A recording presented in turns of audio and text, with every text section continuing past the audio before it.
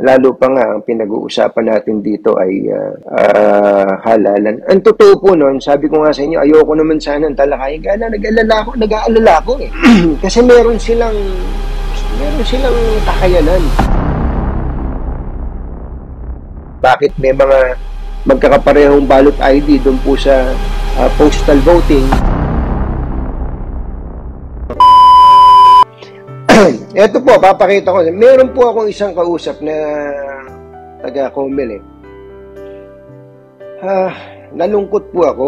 Kaya ako nalungkot dahil uh, siya po ay officially in-endorse po siya sa akin ng isang commissioner para kuhanan ko ng ng mga impormasyon lalo na nga po sa halala na ongoing na doon po sa overseas absentee uh, uh, voting natin ano? Pinadala po sa akin ni commissioner yung pong number niya uh, commissioner uh, George Garcia.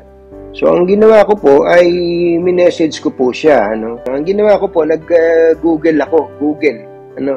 Kung ano ba ang talagang position niya doon sa overseas uh, absentee voting uh, parang office of uh, absentee voting eh, nagulat po ako dun sa aking nakita, mga kaibigan. Sabi ko po sa kanya, as a COMELEC officer, are you uh, allowed to, or you, are you allowed to comment uh, for or against any particular um, political inclination? Something like that po, ano? So, sabi naman niya, no sir. So, to be more specific, sabi ko, kinuwento ko sa kanya na na nakita ko yung mga tweet mo sabi ko, this may be misconstrued by others, hmm, hindi tama. Dahil Comelec officer ka, di ba pagka taga Comelec, dapat eh parehas. Buti sana kung janitor lang dun yun, no? kaya taga, taga messenger lang, eh hindi naman eh. Abogado eh. So, ang sabi naman niya sa akin, uh, okay lang naman daw na mag-express ng political inclination. Kaya lang, ang inalala ko po doon, mga magulang at mga mahal na taga-subaybay, yung public po kasi yun eh. Ito papakita ko sa inyo. Ang ginawa ko po dito, kasi uh, naintindihan ko naman na hindi sig- hindi naman siguro niyo mapigil yung damdamin niya. Uh, sabi ko, I have made, well, I have covered Comelec for a number of elections. Sabi ko, naka, nagkaroon nga ako ng mga kaibigan dyan, mga lowly employees, Because meron din silang mga political inclination but they do not make it, uh, they do not uh, pronounce it publicly, ano. Eh ngayon kasi yung Twitter public po eh. Ayun, eh yan po yung sample ng tweet. Oh. Can't touch this. Oh, yan na. Tapos ano pa? Ito. Na-inspire siya sa Ant-Man, basically a heist movie. Yan po ano. Yan, pinagtatanggal ko na lang po yung mga, yung, yung pong pagkakakilala niya. Yan po yung mga nire-repost niya. Yung mga anti, alam niyo na, anti-BB.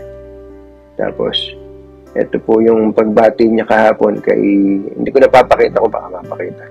Pagbati niya kahapon kay nanay, uh, nanay Lenny. Okay lang naman bumati, mga kaibigan. So, ang sabi po niya sa akin, okay lang naman daw mag-express ng political inclination. O ako, naniniwala ako, okay lang po yun. Ang bawal lang daw po yung mga panya. Ako, papa, papayagan ko pa yun kung tutusin. Papayagan ko kung mga harmless na government agencies eh. Di po ba, mga kaibigan? Kung harmless na government agencies, sabihin ko, okay lang yan. Wala ang problema dyan. Oh. Pero COMELEC po ito eh. Alam nyo, pagka ang isang taga Comelec eh may publicly eh meron pong damdamin for or against any particular candidate, may problema po tayo doon. Lalo pa nga ang pinag-uusapan natin dito ay uh, uh, halalan. Ang totoo po noon, sabi ko nga sa inyo, ayoko naman sana ng talakayin. Kaya na nag-alala ako, nag-aalala ako eh.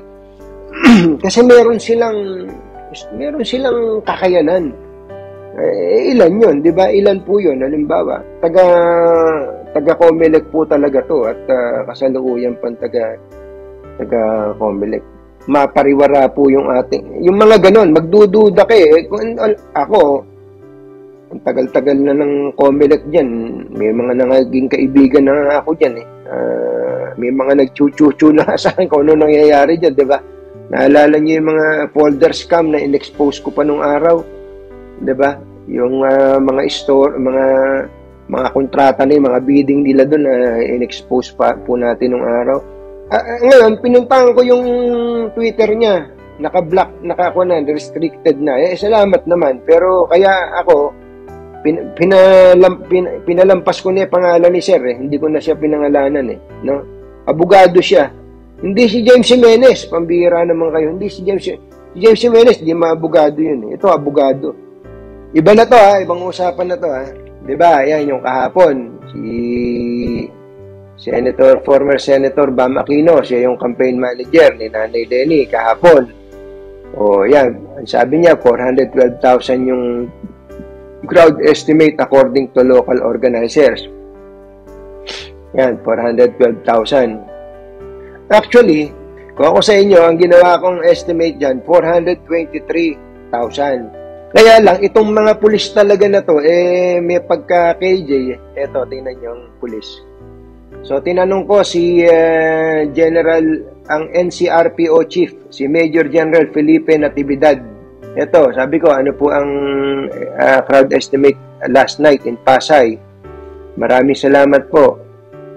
Ang crowd estimate ba naman ni General Natividad, ang crowd estimate lang daw nila 70 to 80,000. Eh, kaya nga tinatanong ko, ano po basis chief? Eh, hindi na sumagot eh. Hmm. Si Sir. Eh. eh, napakalayo naman nung 70 to 80,000 na crowd estimate. O, ulitin ko ha, ang katext ko po dito, mga kaibigan, ay si uh, Police Major General Felipe Ipe Pipoy uh, Natividad na siyang uh, chief ng NCRPO, parang regional director ng National Capital Regional Police Office. Yan na, 70 to 80,000 daw. Tapos, ang estimate naman ng organizer, 412,000. Parang layo, ano?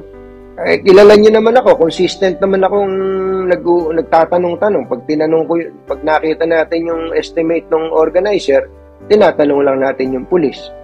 Kaya lang, bukas makalawa, baka mabusit na tong sina Kuya Bam Aquino sa sa kwan eh, sa mga pulis eh. Baka sabihin, kayong pulis kayo, kasabot ka.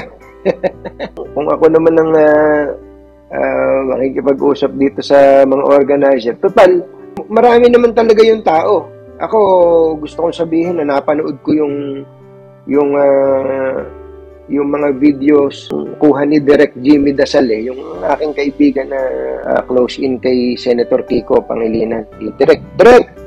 Ang ganda ng mga drone shot ni Direk. Eh. Yun, nakita ko, marami naman talagang tao. Ang daming tao dun sa rally.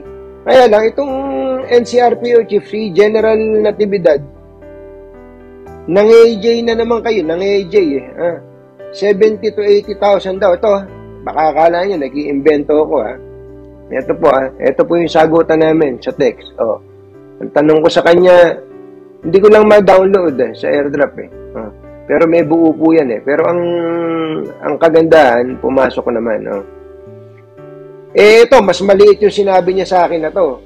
Nung tinanong ko kanina si si uh, Colonel uh, Jean Fajardo, yung uh, hepe ng yung happy ng uh, kwan ng uh, ng yung PI, PNP spokesperson. Sabi ko, Bossing, may statement na po ba ang SPD o NCRPO? Ayan, si Colonel Jean Pardo. Re, crowd estimate sa Pasay kagabi. We'll ask them po, sir, sabi niya. Maraming salamat po. Baka, uh, baka may statement po sila. Po. Ito sagot. Oh. Sir, as per RD, NCRPO, ang estimate po nila is around 80,000 to 100,000. O ito, at least marami-rami to hanggang 100,000. Oh. No, pero yung sagot sa akin ni General mismo, 70 to 80,000 lang. May pagka-KJ talaga tong General, si General. Bira, no? Anyway, binabati natin ng mga organizer no na in fairness, maraming artista. Saka dumami talaga yung dumami talaga yung uh, mga nagpe-perform, hindi katulad, nadagdagan pa, ha? Nadagdagan pa yung uh, nagpe-perform doon sa sa event ni nila Nanay Lenny, 'di ba? Okay lang 'yun. Saka maganda nun, yung mga tao doon ay nasiyahan. Maliban lang doon sa may konting problema lang dahil tinanong ko po itong dami niyong napupulot sa akin ah.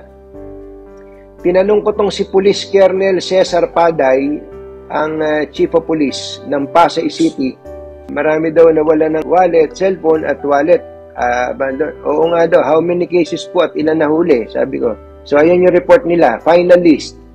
Reported lost cellphone, 77. Ang dami, no?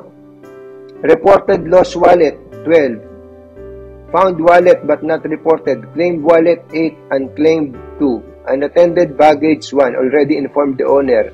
Found cellphone but not reported, 1. Already claimed. Ang dami rin na na, na cellphone, ano? Yan ang sinasabi ko. Uh, huwag kayo nagsasalita ng uh, tapos. Yung bang tipong naalala ko dati, merong nawala ng cellphone din yata sa isang sa rally ng isang kandidato kay BBM. Eh, kung ano na sinabi nyo, eh talagang ganyan, pag maraming tao, maraming tulisan na pumapasok dyan. Ano?